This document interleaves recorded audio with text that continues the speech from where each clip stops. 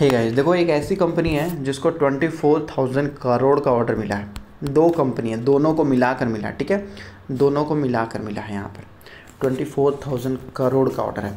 और कंपनी का नाम तो ऊपर आप लोगों को दिख ही होगा टीटागढ़ वैगन भाई, मानना पड़ेगा इस कंपनी ने इतिहास बना दिया। देखोगे एक महीने में ट्वेंटी एट परसेंट का रिटर्न छः महीने में हंड्रेड से ज़्यादा, एक साल में साढ़े तीन सौ। और भाई पिछले पाँच साल में अगर आप नीचे से देखते हो ना तो एक हज़ार परसेंट से भी ज़्यादा रिटर्न निकाल के दिया है। देख लीजिए one thousand seven hundred percent मानो या ना मानो, आज के डेट में ये आपको ऐसा लग रहा है, कल के डेट में यही स्टॉक तो भाई एटी परसेंट गिरा हुआ था। यहाँ देखेंगे एटी एटी परसेंट गिरा हुआ था तो किसी को पसंद तक नहीं आता था। कितने सालों के बाद चला है 2008 से, अगर हम देखेंगे 2020 तक नहीं चला था। बिल्कुल, मान लेते हैं कि 12 साल स्टॉक चला ही नहीं। उसके बाद देख लीजिए कितना अच्छा चलना स्टार्ट किया। तो कभी कभी क्या होता है पेशेंस रखना पड़ता है और हर वो स्टॉक जो गिरा हुआ है, ज़रूरी नहीं है वो ख़राब है, कभी भी बाजी पलट सकती है वो। और ऐसा नहीं है कि मतलब जो है लोगों ने इसको मल्टीबगर बना दिया ऑपरेटर ने या किसी तरीके से, ये कंपनी जेनुअन मल्टीबगर है जेनुअन देखोगे तो इस कंपनी को बताया जा रहा है कंपनी को और दूसरी जो कंपनी है, ये बी एच ई एल आपको देखने को मिलेगा, ठीक है? तो इन दोनों को ट्वेंटी फोर थाउज़ेंड करोड़ का ऑर्डर मिला है। सही है? एट्टी यहाँ पर देखो, पहले सरकार ने फिफ्टी ही बोला था, उसके बाद eighty Vande Bharat sleeper train के लिए बताया यहाँ पर, इतना ज़्यादा इतना ज़्यादा।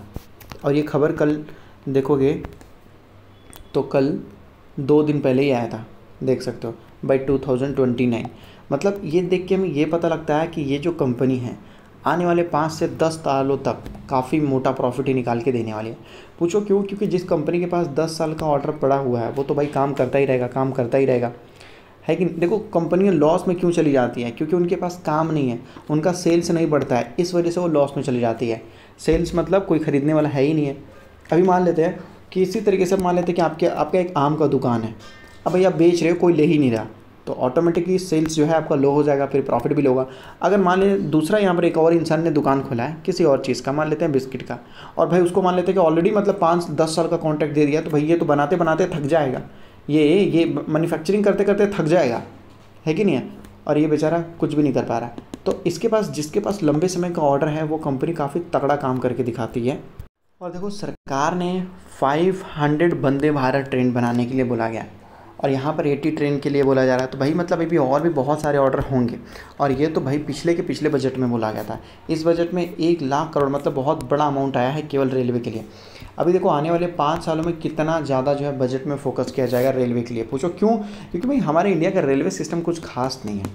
देखो, ये अभी कुछ कुछ कुछ पल पहले ही अगर आप लोगों ने देखा होगा तो दो ट्रेन जो है आपस में टकरा गए, जिसकी वजह से एक्सीडेंट हुआ। एक्सीडेंट हुआ ठीक है? तो रेल दुर्घटना में बहुत सारे लोग मतलब समझो कि घायल हो चुके थे बहुत सारे लोगों को तो बहुत ज़्यादा प्रॉब्लम देखने को मिला। अब ये क्यों हुआ पता है? अमेरिका में देखोगे तो बहुत पहले एक बार ही मतलब जो है आ, ये एक्सीडेंट हुआ था ट्रेन का एक्सीडेंट हुआ था। वो भी दोनों ट्रेन टकराया नहीं था आपस में।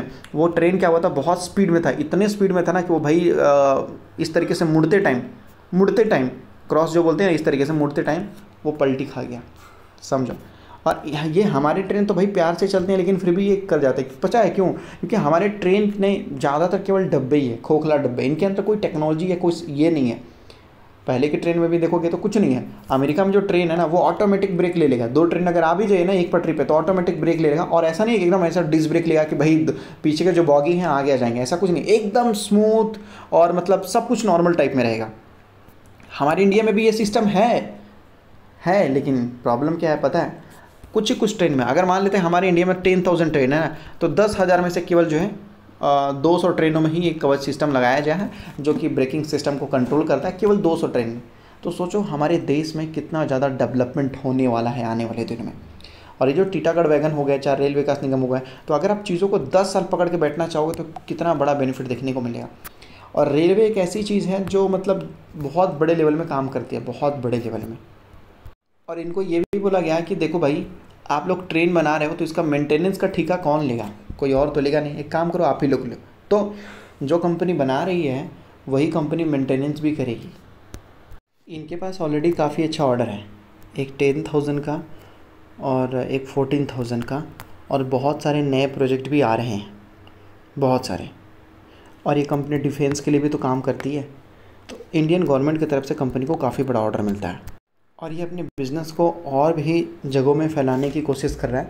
रेलवे सेक्टर में ही इन्हेंस करने की कोशिश कर रहा है। जैसे कि अगर कंस्ट्रक्शन में किसी भी तरीके से और ऑर्डर मिलता है तो बहुत सही रहेगा। तो ये है और कंपनी आने वाले दिनों में भी काफ़ी अच्छा प्रॉफिट करेगी। काली मतलब इस वजह से अच्छा प्रॉफिट करेगी क्योंकि कंपनी बहुत बड़े लेवल में काम कर रही है। तो मैं आपको बोलूँगा स्टडी कीजिए, क्या है, कैसा है, और आने वाले दिनों में भी बड़ा ऑर्डर मिल सकता है। क्योंकि अभी भी भारत का रेलवे सिस्टम उतना डेवलप नहीं हुआ जितना होना चाहिए था। अभी सरकार खुद ही इस पर बहुत ज़्यादा पैसा खर्च कर रही है। अभी तो सरकार ने हर जगह इलेक्ट्रिफिकेशन कंप्लीट किया है। उसके बाद न्यू अभी देखो बुलेट ट्रेन आना बाकी है। चाइना में अमेरिका में जापान में, हर जगह आ चुका है। इंडिया में भी लाने की कोशिश की जा रही है तो टाइम तो लगेगा ना।